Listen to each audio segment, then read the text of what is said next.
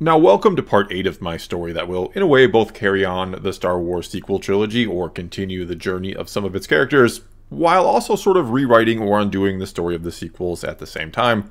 Or, as I like to put it, this is a story of how what comes next will change what came before.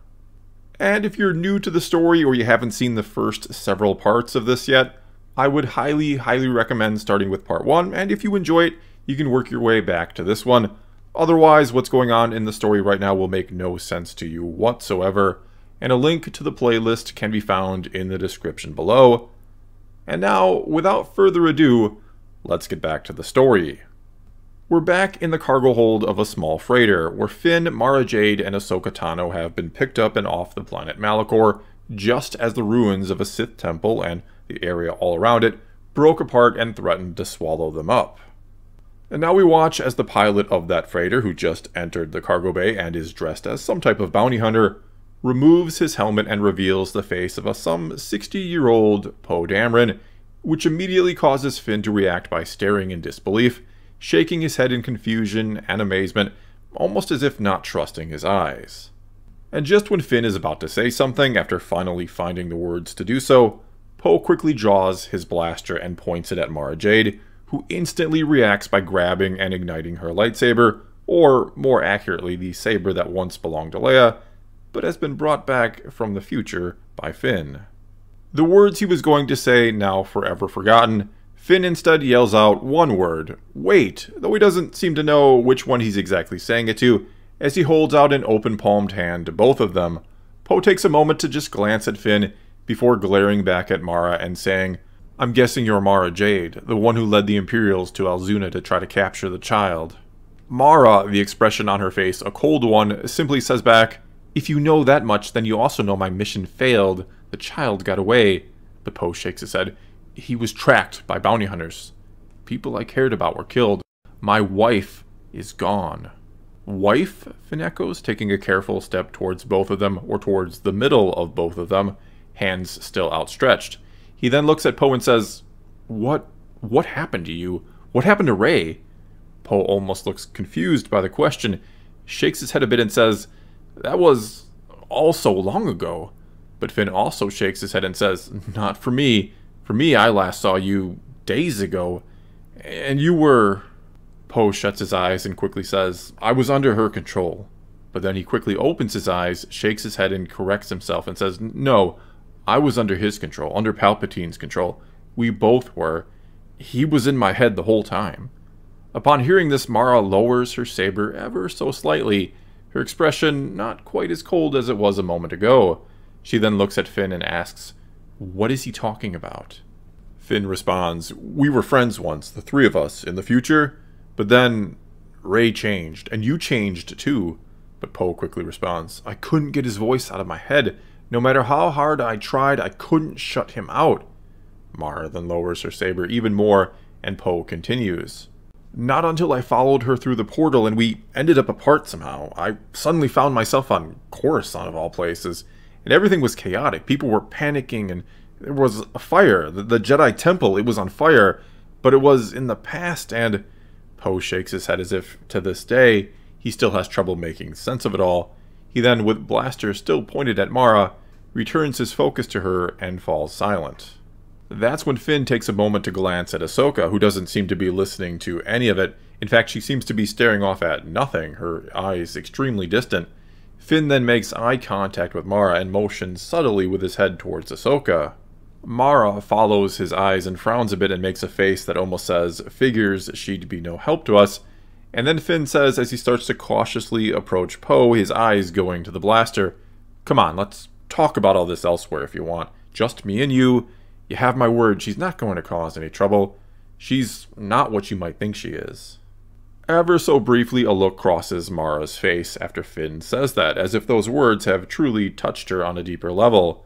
She then deactivates the saber, clips it back to her belt, and holds up her hands as if to say, I mean no harm, and you can shoot me if you really want to. Poe thinks it over for a moment and ultimately lowers his blaster and motions for Finn to follow him to another part of the ship. And as they go on their way, Mara looks back at Ahsoka, lets out a sigh as if this is the last thing she wants to deal with, and she heads over to talk to her. That's when we're taken across the galaxy to an Imperial Star Destroyer where we're in a dimly lit detention cell, where we see Rey laid out on the floor and where her eyes slowly begin to open. And when they do and when they adjust to the low light, she sits up and sees standing over her is Grand Admiral Thrawn, flanked by four Death Troopers, two on each side, all carrying and pointed at her something that looks like a force pike of some kind. When Rey sees him, she mutters one word in amazement Thrawn. Upon hearing that, Thrawn's brow arches ever so slightly and he says, It seems you have me at a disadvantage, for you know my name, but I do not know yours. Rey then gets to her feet, and as she does, the Death Troopers with their force pikes seem to tense up, as if ready to spring into action at a moment's notice. Rey glances at them, then back at Thrawn, and says, I'm Rey. Thrawn gives her a look as if to say he's going to need a bit more than that, and Rey continues, I'm Rey. Rey, um. But she starts to shake her head, almost as if she's having trouble remembering. A moment later, she doubles over and winces as if in a great deal of pain, her hands going to and holding her head. All the while, Thrawn simply looks on, studying. After a few moments of this, the pain seems to subside, and Rey stands back up straight and says, I, I really, I don't remember. Thrawn gives a tight-lipped smile and says, How convenient. And did you also forget the type of weapon you were found with? Rey looks confused. Weapon? What weapon? Thrawn again gives a little smile and says, Ah yes, I forget Jedi do not necessarily see their lightsabers as a weapon, but rather as a tool of last resort a means by which to defend but never attack, isn't it? Rey shakes her head as if not understanding. Thrawn, his cool expression unchanged, then says, It is quite clear that you have come to this place in search of Ezra Bridger. In fact, our scans confirmed you were with him when we began our bombardment. What isn't clear, however, is what became of him, or how exactly you managed to survive such an attack relatively unscathed. Thrawn looks her over, and we now can see that she does have a few cuts and bruises on her, but nothing severe. Unless, of course, he pulled you into that place, that world between the worlds. Upon saying that, we can see on his ever calm face, there is something in Thrawn's eyes, a trace of something that is a blend of anger, but also something else, something that may even be a type of borderline madness. Nevertheless, Rey only shakes her head and with an almost pleading expression on her face, she says, I don't, I don't have any idea what you're talking about. Thrawn then glances at one of the Death Troopers, makes a slight motion with his head, and it steps forward and jabs Rey in the side with the Force Pike, and we hear a sound almost like electricity flowing, though it's hard to hear that over the sudden painful screams of Rey. This lasts several long seconds until Thrawn raises a hand and the Death Trooper falls back. Thrawn then says, I am not normally a fan of such crude methods of gathering information, but you leave me little choice. Rey then says as wisps of steam rise up off her skin, Please, I, I don't know what you're even talking about. I don't know. Thrawn again makes a motion of the head, and the Death Trooper steps forward once more and sticks her again. Rey screams out in pain, but this time, after only a few moments, she stops, and her face darkens as her eyes begin to glow yellow. She then extends a hand out in the direction of Thrawn, and from her fingertips, blue lightning streaks forth and passes right through Thrawn. The other three Death Troopers then all move forward and jab their pikes into Rey, and the darkness upon her face and yellow eyes fade as she screams out in absolute agony, and in no time she collapses to the ground either unconscious or maybe even dead. Meanwhile, in another room, a small room, and watching on a monitor stands Thrawn, the real Thrawn, and he pushes a button on a control panel by the monitor, causing his holographic image in the detention cell to flicker and fade away as the Death Troopers make for the cell's exit. Standing next to him is a young officer, and she looks up at Thrawn with amazement on her face and says, How, Admiral? How did you know? But all Thrawn does back is give her a smile. We're back across the galaxy again, in the freighter where Poe and Finn are now off in a different part of it, talking together, and we hear Poe say, It was so strange being on Coruscant just as the Clone Wars were ending. The craziness and confusion of it all. People were celebrating the formation of the Empire and the end of the Jedi. It was so strange. It's like, I don't know, The whole thing snapped me back into reality somehow. And that's when I ran into her, literally right into her. Finn then chimes in and says, Your wife, you're talking about your wife. Poe gives a nod of the head and says, She had a child with her, one that clearly wasn't her own. And she needed, well, she needed a pilot. She'd never learned how to fly herself, had always relied on a partner of some kind till he left her over this job, this job to watch the child for the Jedi. It was like I was in the exact right place at the exact right time. Finn can't help but smile as he says, That all sounds familiar somehow, especially the needing a pilot part. Poe returns the smile and puts a hand on Finn's shoulder as he says, Seems I meet all the best people that way, and I'm sorry about turning on you like I did. I've been regretting it ever since, all this time. But Finn quickly says, Hey, don't worry about it. I know it was Palpatine. Besides, it's all in the past now, or actually the future, I think. Poe chuckles, gives him a look as if to say he understands the confusion, then continues his story. Anyway, before I knew it, she and I were working together. I was happy and back to my old ways again, like a return to an old, missed lifestyle. Finn then says, Ah, yes, your life as a spice runner, which you never, for some reason, bothered to mention to all of us. Poe responds back, Yeah, well, it wasn't something I was all too proud of. But I am proud of what I've been doing with my life here in the past, though I hardly look at it that way anymore as the past, I mean. It's just my life now. What it became.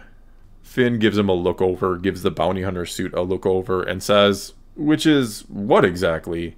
Poe responds, To be honest, it was a little bit of everything in order to survive while under the iron fist of the Empire. And through it all, we kept the child safe, always finding a good hiding spot and caretakers for him. Until recently, that is. Mainly because what's left of the Empire has been nothing but focused on finding him. Finn then gives a little shrug and asks, why not go to the New Republic for help? Or take him directly to Luke Skywalker? You know, the Jedi? Poe shakes his head and says, Because of what happens to Luke and his students, to his order in the future, we just felt like we couldn't risk it. Finn then counters, Then why not tell Luke about that? Warn him about Kylo Ren, the return of Palpatine, all of that. And as Finn is saying it, there's a look in his eyes that seems to say he thinks that's a pretty good idea not just for Poe back then, but for him now. Poe then responds, But what if we did that? What if that's what happened the first time around? We told Luke everything, and he, well, you heard Rey's story. You heard what he almost did to his nephew. Poe falls silent a moment and then says, What if that all happens because we told Luke to be worried about him? Finn opens his mouth like he wants to instantly counter, but hesitates, looking as if Poe has just brought up a pretty good point. Finally, though, he says, I think it has to be worth the risk. I think going to Luke is the right thing to do. But Poe shakes his head and says, Doesn't really matter anymore. Some Mandalorian bounty hunter has him now, though thankfully my contact within the guild says he didn't turn him over to the Empire. Poe gives a faint smile and shakes his head and continues, That little guy probably got to him, just like he gets to everybody he comes across. But Finn then says, it does still matter. Luke still needs to know the truth. Everything that's going to happen, he needs to know. I think it can all be changed. I think this has all been carefully planned out by Ezra somehow. Besides, maybe Luke could even help us find the child. Soon enough, then, we're back in the cargo hold of the freighter, where Mara is seated on the floor with her back to some crates, looking like she could fall asleep then and there after all she's recently been through. That's when Finn enters, spots her, and asks, after briefly glancing around, Where's Ahsoka? Mara responds, She's resting. I think she's even more exhausted than I am, if that's possible. Finn then hesitantly asks as he takes a seat on the floor next to her, Is she okay otherwise? Mara gives a one shouldered and rather skeptical shrug. Not entirely sure. Whatever happened to her down there is still affecting her though I think she's rid of it for the most part. Mara gives a sad sort of smile and finishes. Unfortunately, a part of the darkness will always be with her. That's just how it works. Finn then turns his head and looks at her, a rather sympathetic look on her face. Mara then quickly snaps back. Don't do that. Don't give me that look. Don't pity me, or whatever it is you're doing. That sort of thing only makes me want to end our friendship with a lightsaber. Finn again looks straight ahead, a grin on his face as he says, So, it is a friendship. Mara lets out a sigh, rolls her eyes a bit, and then says, Speaking of friends, what's the deal with the one who was going to shoot me before? Finn quickly responds. I trust him completely, if that's what you're asking. And I promise you, he won't shoot you, if that's also what you're asking. Mara looks less than convinced and says, I don't know that Ahsoka is the answer you were looking for. All she kept saying was she has to keep some sort of promise, and that she has to find someone named Sabine Wren. Finn thinks a moment, then says, Can't say I've ever heard that name before. Did she say anything else? Mara shakes her head, but then says, Something about what Anakin told her to do. That she's supposed to help you, but that she has to keep this other promise first. Great, Finn says back, a frown on his face. The two are then silent for a few moments before Mara says, So, what's our next move then? Finn then gives her a look and says, Our next move? I thought you were done with me once we found Ahsoka. Mara quickly responds, Don't give me that look either. I'm not changing my mind about training you. I'm far from the right one for that job. But I, too, still have a promise to keep, to help you after you saved my life. Mara lets out a bit of a sigh and continues, Besides, it's not like I have anything better to do right now. Finn again looks at her. I thought you said something before about serving your own purpose or something. You telling me you're not so sure what that's supposed to be anymore? Mara again gives Finn a look, takes hold of her lightsaber, and shows it to him before saying, You really do want me to end our friendship, don't you? Finn, only slightly worried that she's serious, raises his hands in a surrendering fashion. Hey, kill me and you won't get to hear my crazy idea. Mara shakes her head like she doesn't want to hear it anyway, but then tells him to go ahead. Finn says, What if we try to find Luke Skywalker? When Finn gets nothing but silence, he turns to look at her and says, And yeah, I know what you said before, that your last command or something was to kill him, but I'm kind of hoping maybe you could be persuaded not to do that. Without a word, Mara then hops to her feet and begins to walk away, saber still in hand as she heads over to a window in the cargo hold that looks out into deep space. She then says, Perhaps I could be persuaded to at least listen to what he has to say. Finn then says good as he smiles and shuts his eyes and leans his head back against a crate and falls asleep almost instantly. That's when we're once again taken across the galaxy to an underground cavern full of life and light on an otherwise strange, barren world, where Ezra Bridger sits alone, staring out at the crystal blue waters of a small lake that a herd of strange, deer like animals drink from. Suddenly, then, Ezra says, So, you want me to be the keeper of this place? Is that it? Is that why you keep calling me Keeper? The voice of Revan then comes from behind him and simply says, It is indeed. Ezra then turns his head and now sees the body of Lightside Revan standing behind him.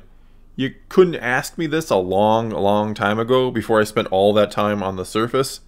Revan says nothing to that, and so Ezra continues. Why me? And what am I even supposed to do here? As far as I can tell, you seem to be doing a good enough job as keeper. But Revan shakes his head and says, I am no more than an echo, a part of everything else here, given shape to answer your questions to help you understand.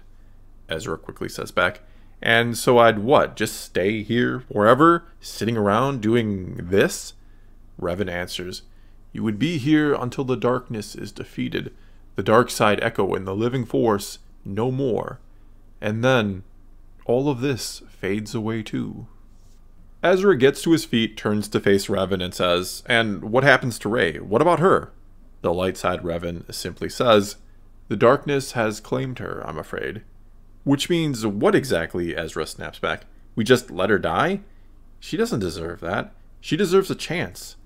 Revan then counters, So much concern for one you do not even know. Again, Ezra snaps back. Isn't that what being a Jedi is? Compassion for everyone? That's what my master taught me anyway. So how can the light side be okay with what's happening to her, to one that served it, that was chosen by it? Revan answers, as a Jedi, she understands the sacrifices that must be made. Besides, freeing her of the darkness would only hasten its pursuit of the one it truly desires, if it does not already seek him in earnest. That's when we're taken somewhere else in the galaxy, where we see a dark haired child, maybe around the age of four or five, seated in the pilot seat of an old Corellian freighter we recognize to be the Millennium Falcon. And though the ship is docked somewhere, that isn't stopping the boy from flipping switches and making sounds as if it were in flight, and in a firefight of some kind, no less. While seated next to him the whole time, making sure he doesn't flip the wrong switch, is the boy's father, Han Solo. Elsewhere in the ship, then, we see Luke Skywalker standing with his twin sister Leia, both smiling as they overhear the noises of battle coming from the cockpit. Luke then says to her, He's going to make a fine pilot one day. A better one than even his father, I think. Leia says back, Do I sense a note of disappointment in your voice? Luke gives a little shake of the head, then says, giving an almost playful look to Leia, I was told to pass on what I had learned, but so far the only student I've had decided to give up her training. Leia quickly shakes her head. I'm sorry, Luke. It's just that. But Luke cuts her off and quickly says, It's okay, Leia. I understand. I do. You love Han, your life, and your son, and sometimes I even wish. But Luke falls silent, and so Leia takes a step forward, takes her brother's hand, and says, You wish what, Luke? To that, Luke says, It's nothing, really. Luke then carefully pulls his hand free and turns from her. Leia then seems to focus, as if trying to sense something, and after a few moments of that, she says, You're still feeling it, aren't you? This darkness that's out there. Luke then turns back around and says, The Sith are gone. There should be balance, and for a while it felt like there was. But now there's something else, something that I feel draws ever closer with each passing day, and I'm the only Jedi to stand against whatever it is. Leia's face becomes grave, and she says, her voice quieting as if she doesn't want anyone to overhear, If you think it's that important, Luke, I'll come back. I'll take up my training again. Luke smiles gently at her and says, I know you would, but I didn't mean to imply that at all. It's just that Every day I listen for something. Every day I wait for some type of sign or feeling from the Force. And every day all I feel is this rising darkness, creeping ever closer. Leia then asks, And what do your, uh, old friends have to say about it? Luke shakes his head. I haven't seen them since Endor. They told me then that it may be some time before I did see them again, that it all depends on the flow of the Force. But now I fear I'm not hearing them because Luke shakes his head as if it's difficult to explain, but then he continues, I fear maybe their voices are being drowned out by the darkness. I fear that I don't know what to do, Leia. The two then quickly embrace, and Leia says again, I'll come back if you want me to. Han will understand. But Luke shakes his head. No, there's got to be another way. Someone else I'm meant to find, perhaps. Leia pulls back from Luke and in her hand now is a lightsaber, her lightsaber, the one she constructed and used during her brief training. Leia then says, I've been meaning to give this back to you. Maybe when you find that student, you could let them use it. Luke takes the saber, looks it over for a moment, and then hands it back to Leia. And as she takes it again, Luke says, Keep it, and keep your eyes open and your feelings stretched out. I taught you much. Your ability to sense things through the Force is strong, it even saved my life once back on Cloud City. If you find someone, give them the saber. Send them to me. With your luck, maybe it's someone I'm meant to find. Maybe it'll be a sign. We then focus in on the saber in Leia's hand, which is when everything else around it changes, and we now see the same lightsaber in the hand of another, in the hand of Mara Jade, as she stands aboard a small freighter looking out a window and into deep space, and seemingly looking for her true destiny and purpose as well. And that is where this part ends. Well, that's all I've got for you this time. Now it's your turn to tell me what you thought of this part of the story and what you think will happen next. So leave a comment below and let's talk some Star Wars. And until next time, thanks for watching.